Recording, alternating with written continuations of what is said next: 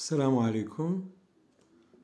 سنبدأ آه، ثاني درس في مقرر السنة الثالثة إعدادي هو درس بنية الذرة والأيونات. درس آه، أنجزه الأستاذ خالص أستاذ مادة الفيزياء والكيمياء.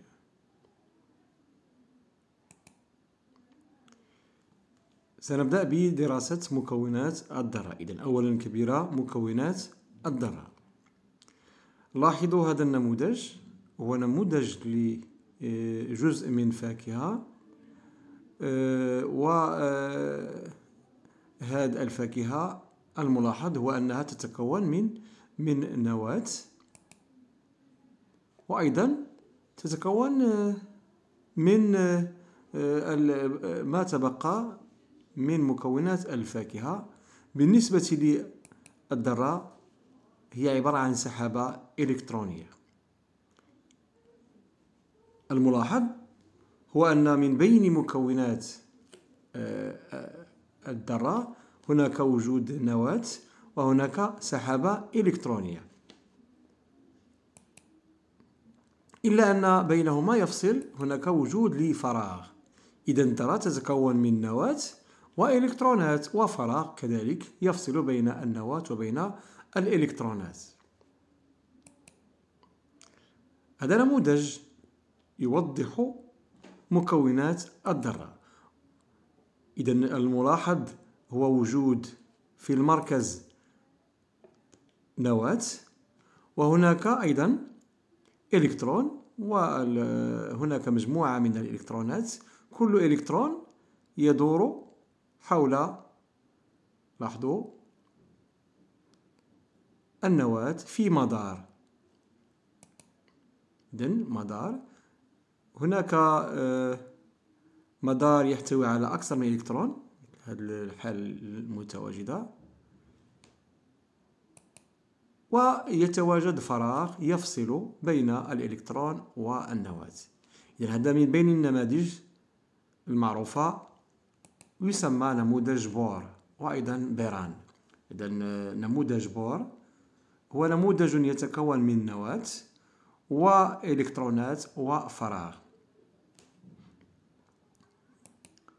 هناك نموذج آخر يعرف بنموذج شرودنجر أيضا دو بروغلي. هذا النموذج يتكون من سحابة من الإلكترونات مجموعة كبيرة من الإلكترونات يصعب ملاحظتها ولهذا آه، شرودنجر آه، أكد على أن هناك سحابة من الإلكترونات تدور حول النواة. إذا هناك نموذجين معروفين وهو نموذج بور ونموذج شرودنجر على نموذج بور نواة وإلكترون أو مجموعة إلكترونات تدور حول مدار. وهناك تواجد فراغ. بينما نموذج شرودنجر فهناك نواة وسحابة من الإلكترونات. نبدأ بدراسة النواة. إذا النواة تتوسط دائما الذرة هذه ذرة الكربون. نلاحظ أن هناك شحنات موجبة عددها بالنسبة لذرة الكربون ست شحنات موجبة. والملاحظ هناك تواجد إلكترونات عددها إذا واحد جوج ثلاثة. أربعة خمسة ست إلكترونات. هذا يعني أن دائما شحنات السالبة الإلكترونات تساوي الشحنات الموجبة للنواة النواة فهي تتوسط الذرة وهي أكبر بكثير من من الإلكترون. إذا كتلة النواة أكبر من كتلة الإلكترون بكثير ولهذا نهمل كتلة الإلكترون أمام كتلة النواة آه، قطر الذرة اللي هو آه، هذا القطر من هذه النقطة إلى غاية هذه النقطة نقارنها مع قطر النواة. إذا الدراسة أكدت على أن قطر النواة أصغر بكثير من قطر آه، الذرة تقريبا مئة ألف مرة. هذا يعني على أنه هناك فراغ بين آه، النواة وبين الإلكترونات التي تدور حول النواة. كتلة الذرة تقريبا تساوي كتلة النواة إذا المادة المكونة للذرة تتوسط أو توجد في في النواة النواة توسط الذرة حجمها صغير جدا قطرها مهمل أمام قطر الذرة. قطرها أصغر مئة ألف مرة من قطر الذرة. يوضح ذلك أن هناك فراغ كبير يحيط بالنواة بالنواة كل المادة المكونة للذرة. هذا يعني على أن كتلة الذرة هي كتلة تقريبا آه، النواة. النواة مشحونة بشحنة آه، كهربائية موجبة دائما. تقدر كتلة النواة بحوالي عشرة أس ناقص سبعة وعشرين كيلوغرام. نأخذ مثال لنفهم ذلك. مثلا بالنسبة لذرة الهيدروجين. كتلة نواتها تساوي واحد فاصلة سبعة وستين في عشرة أس ناقص سبعة وعشرين كيلو غرام إذا الكتلة صغيرة جدا لأن الذرة لا ترى بالعين المجردة نمر هي الإلكترونات. ثانيا صغيرة الإلكترونات لي زيليكترون دائما نبقى مع ذرة الكربون. الإلكترونات شحنتها سالبة. عدد الشحنات السالبة يساوي عدد الشحنات الموجبة للنواة دائما الإلكترونات تدور بسرعة فائقة حول النواة وهناك بعض الخصائص للإلكترون سنراها الآن. الإلكترونات دقائق صغيرة جدا تدور حول النواة بدون توقف وبسرعة كبيرة يصعب تحديد مسارها. لهذه السرعة هي كبيرة جدا. تكون هذه الدقائق متشابهة مكونة سحابة إلكترونية. إذا الإلكترونات متشابهة في نفس الذرة أو من ذرة إلى أخرى. ذرة الهيدروجين إلكترون تحتوي على إلكترون واحد. هذا الإلكترون يشبه الإلكترونات المتواجدة في ذرة الكربون.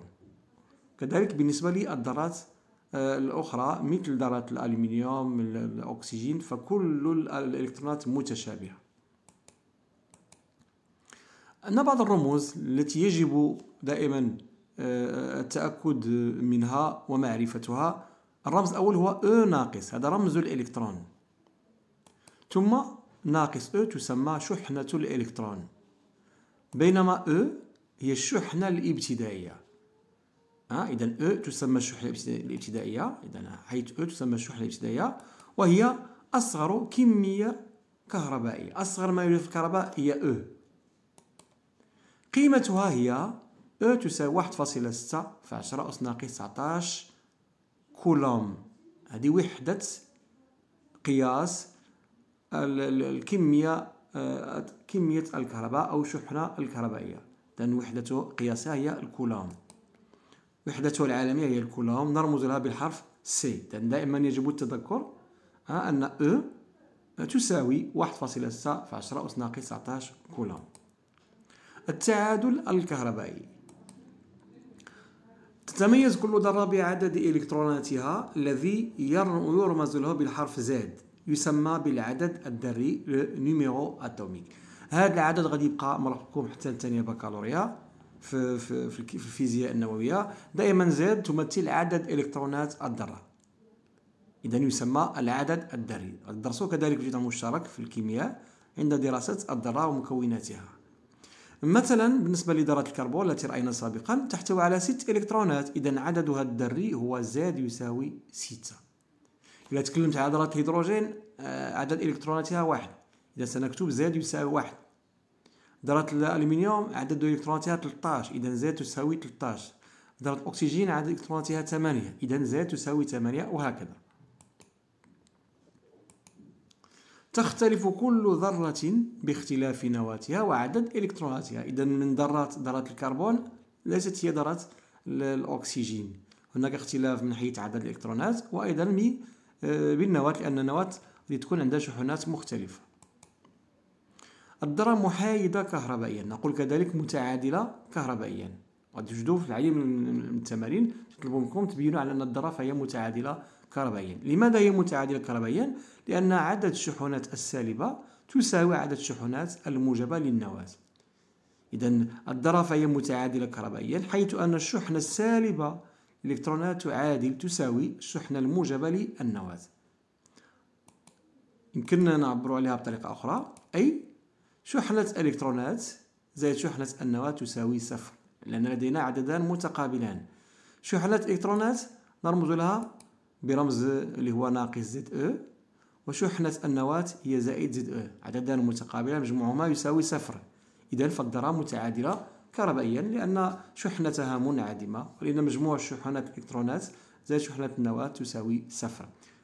يمكن أن نستعمل كذلك العلاقة الآتية Qn يعني شحنة النواة؟ N c'est noyau النواة. زائد شحنة الإلكترونات هذا رمز إلكترون Q إلكترون e moins Q هي الشحنة ديال النواة زائد شحنة الإلكترونات يساوي صفر عندنا تيبان من هذه العلاقة أن شحنة النواة Qn تساوي زائد Z e وشحنة الإلكترونات تساوي ناقص زد أو حيث زد هو يمثل العدد الذري يعني عدد الإلكترونات المتواجدة في الذرة أمثلة غادي ناخذ هذا الجدول فيه الذرة رمزها عددها الذري يعني عدد إلكتروناتها شحنة إلكتروناتها شحنة نواتها وشحنة الذرة هيدروجين ذرة الهيدروجين رمزها هو الحرف هاش عددها الذري هو واحد.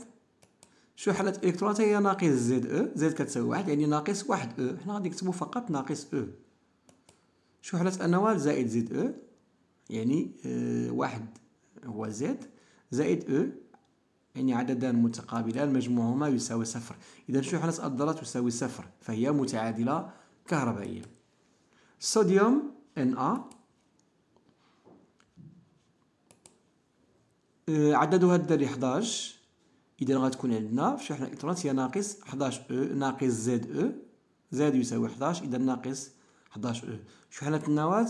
مقابل شحنة الإلكترونات؟ زائد زد أو. مجموع يساوي صفر. إذا شحنة الذرة فهي منعدمة ولهذا ذرة الصوديوم كذلك فهي متعادلة كهربائيا. ذرة الكلور سأل.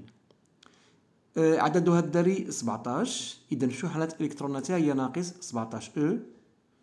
شحنة النواة هي المقابل الشحنة ديال الإلكترونات يعني زائد زد أو. زائد 17 e. مجموع يساوي صفر. أيضا ذرة كلور متعادلة كهربائيا. ذرة الفضة جي عددها الذري هو 47 donc Z تساوي 47 بما أن Z تساوي 47 فإن شحنة الإلكترونات؟ يعني ناقص Z e ناقص 47 e شحنة النواة؟ زائد Z e زائد 47 e مجموع يساوي صفر. إذا شحنة ذرة الفضة فهي آه، تساوي صفر. يعني آه، منعدمة. ولهذا آه، فذرة الألمنيوم الفضة أيضا فهي متعادلة كهربائيا يتضح أن جميع الذرات فهي متعادلة كهربائيا أن شحنتها منعدمة أو شحنة إلكتروناتها زائد شحنة نواتها تساوي صفر.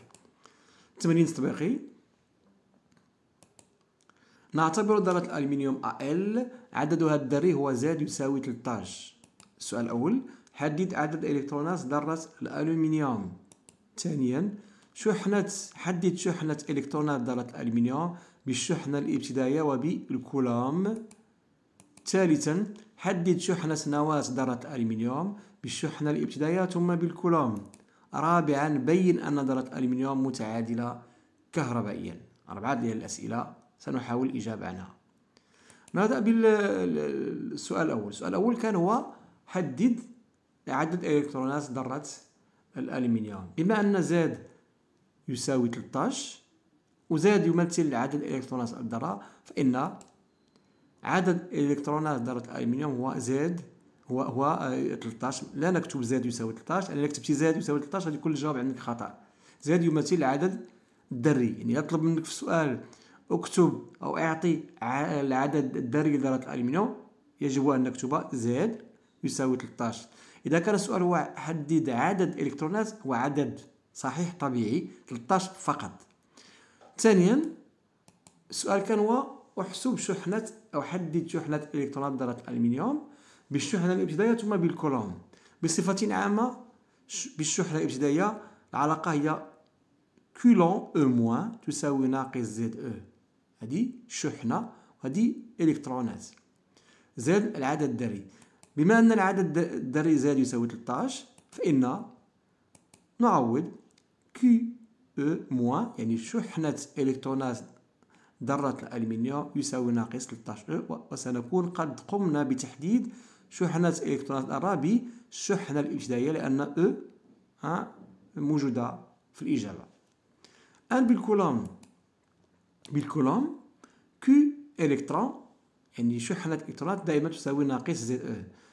زد تساوي 13 بما أن زد تساوي 13 بينما أو هي الشحنة الإبتدائية التي قيمتها هي 1.6 فعشرة أس ناقص 19 كولوم إذا نعوض زاد 13 أو بهذه القيمة ونجد أن شحنة إلكترونات ذرة الألمنيوم هي ناقص 13 في 1.6 في 10 أس ناقص 19 كولوم أه خذ الآلة الحاسبة وحسب 13 في 1.6 سنجد أن شحنة إلكترونات ذرة الألمنيوم هي ناقص 20.8 في 10 أس ناقص 19 كولوم السؤال الموالي شحنة نواة ذرة الألمنيوم بنفس الطريقة فقط سنغير شحنة الإلكترونات بشحنة النواة Qn لو نوايو est égal à plus ZE بما أن Z تساوي 13 فإن شحنة النواة هي زائد 13 E وسنكون قد قمنا بتحديد شحنة نواة ذرة الألمنيوم بالشحنة الابتدائية الآن بالكولوم. بالكولوم Qn est égal à plus ZE يعني شحنة نواة ذرة الألمنيوم يساوي زائد ZE زائد فقط لنوضح على أن النواة فهي موجبة الشحنة. بما أن Z تساوي 13 و E تساوي 1.6 في 10 أس ناقص 19 كولوم يعني الشحنة الإبتدائية. فإن نعوض Qn تساوي زائد 13 في 1.6 في 10 أس ناقص 19 كولوم. تساوي زائد 20.8 في 10 أس ناقص 19 كولوم. السؤال الموالي بين أن ذرة الألمنيوم متعادلة كهربائيا. إذا لنبين أن ذرة الألمنيوم متعادلة كهربائيا. ولهذا يجب حساب شحنة ذرة الألمنيوم. بما أن ذرة الألمنيوم متكونة من نواة وإلكترونات فإن شحنة آه، الذرة يعني Q شحنة atome الذرة تساوي شحنة النواة زائد شحنة الإلكترونات النواة دائما هي plus Z e الإلكترونات هي moins Z e نعوضو هاد القيمة بزائد 13 e وهذه بناقص 13 e حنا حسبناها سابقا في السؤال الثالث والثاني.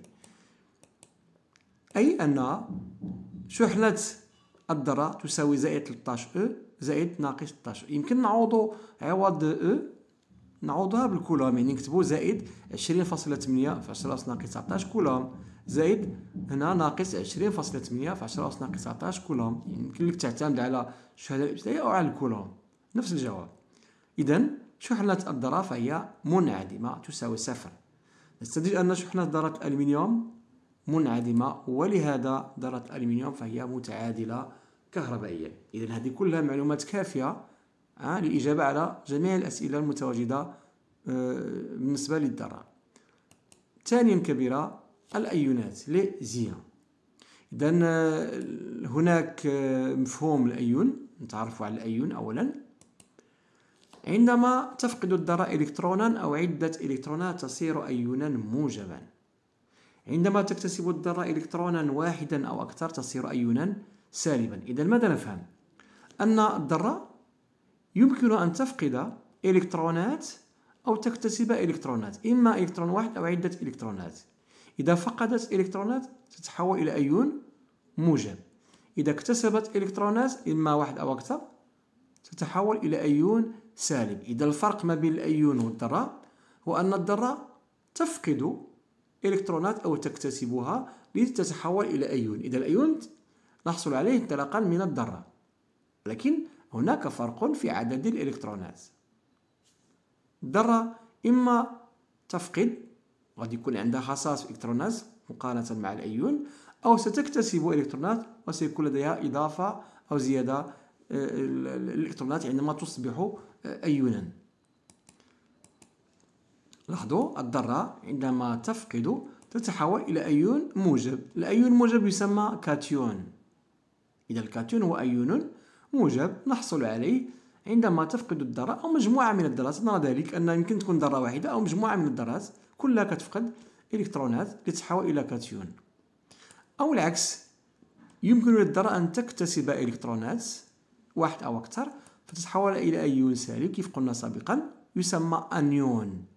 إذا الأيون نوعان إما كاتيون هو أيون موجب أو أنيون هو أيون سالب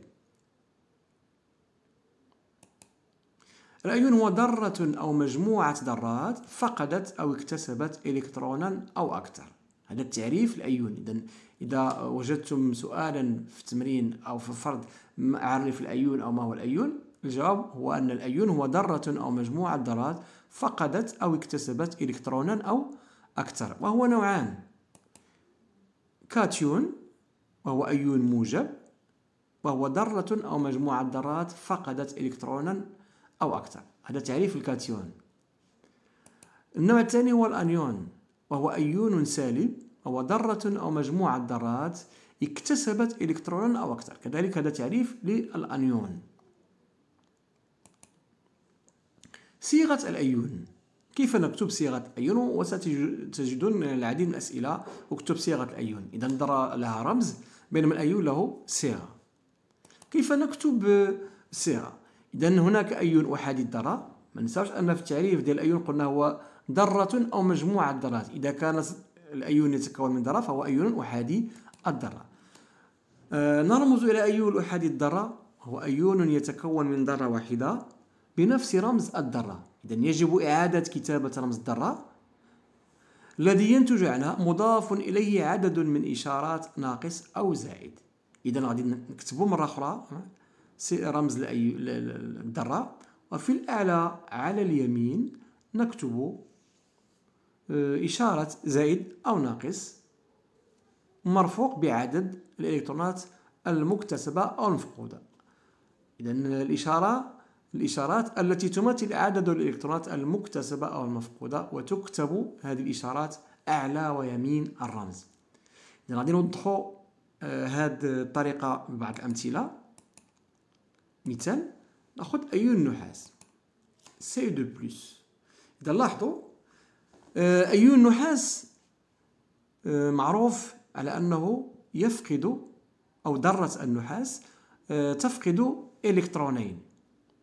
فتتحول إلى أيون موجب الذي يسمى كاتيون. إذا أي نحاس آه، صنفه أو نوعه هو كاتيون. لماذا؟ لأن الذرة فقدت آه، إلكترونين.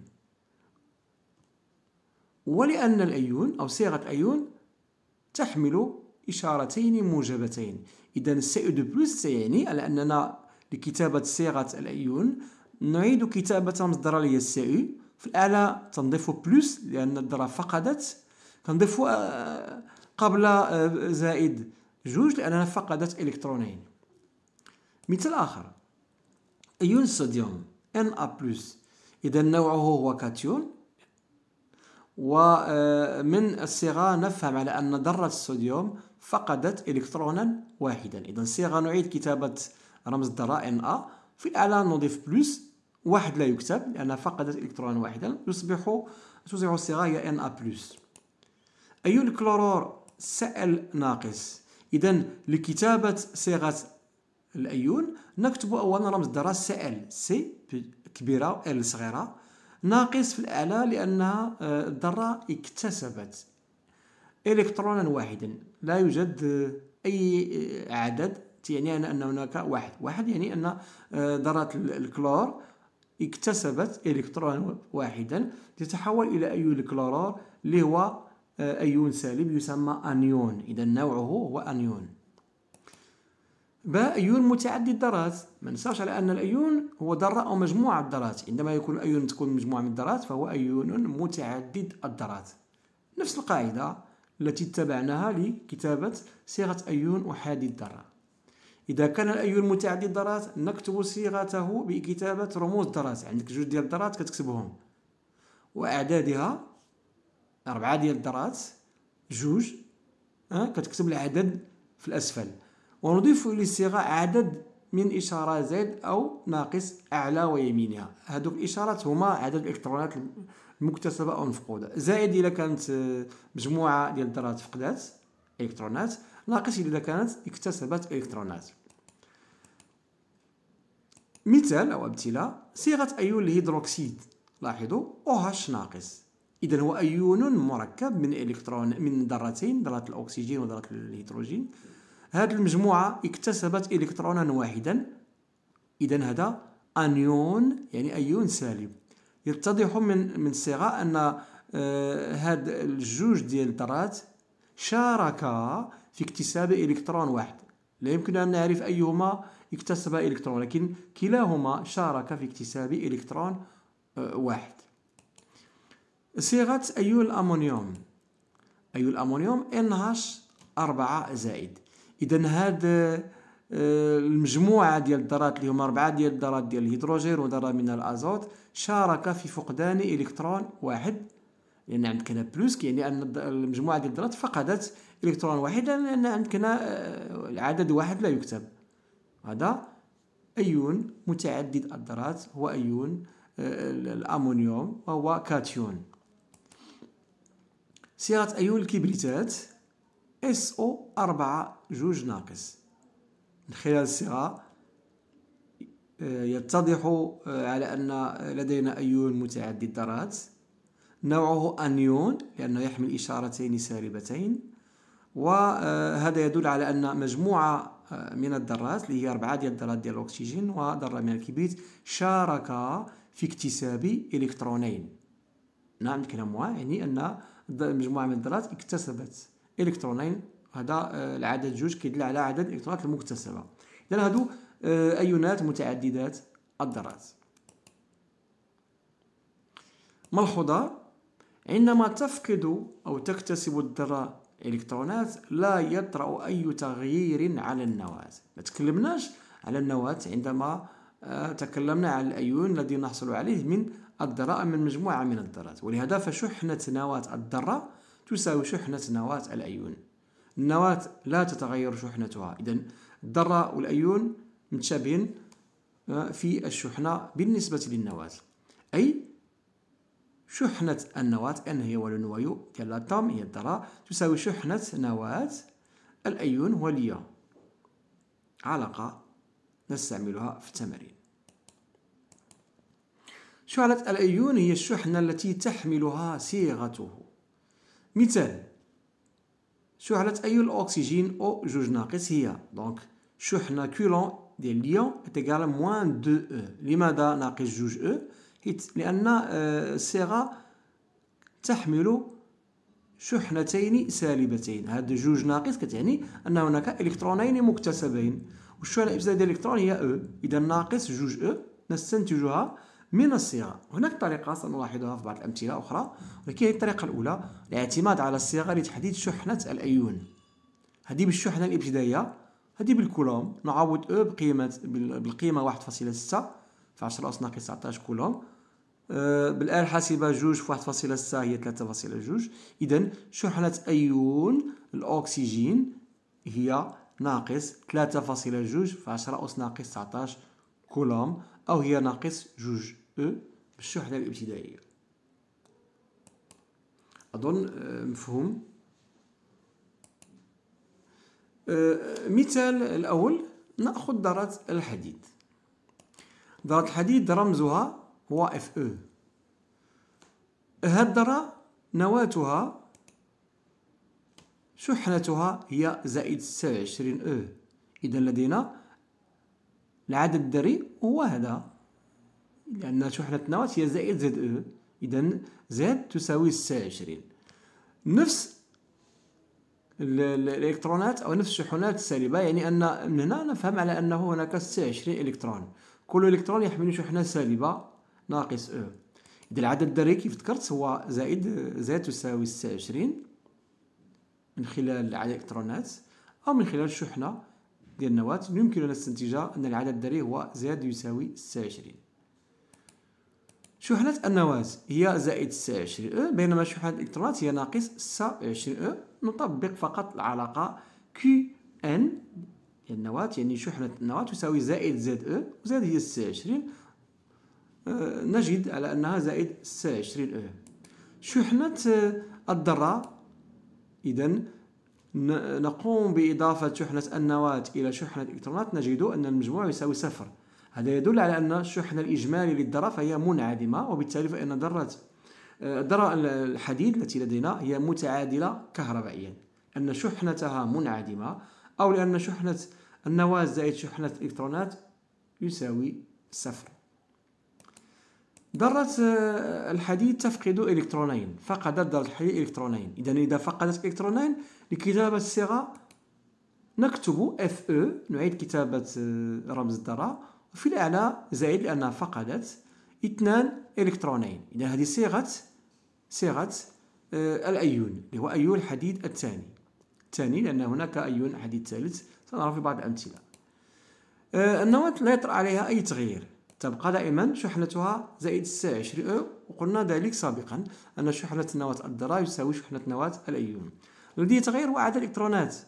الذرة كان عندها 26 إلكترون فقدت إلكترونين إذا يبقى للأيون فقط 24 إلكترون. لأن ال 26 إلكترون كان عند الذرة فقدت إلكترونين يبقى لها 24 إلكترون. إذا هنا تيبان على أنه لحساب شحنة إلكترونات أو السحابة الإلكترونية أو شحنة النواة هناك فرق في كيفية الحساب. إذا شحنة النواة لا تتغير دائما زائد سي 20 أو. بينما شحنة السحابة الإلكترونية أو شحنة الإلكترونات هي ناقص 24 أو لأن أيون يحتوي فقط على 24 إلكترون. نقوم بإضافة شحنتين فنجد على أن الشحنة الإجمالي أيون فهي غير منعدمة أن المجموع زائد ستة وعشرين أو زائد ناقص ربعة وعشرين أو شحنة النواة زائد شحنة إلكترونات الأيون؟ يساوي زائد آه، جوج أو إذا زائد جوج أو هي شحنة الأيون.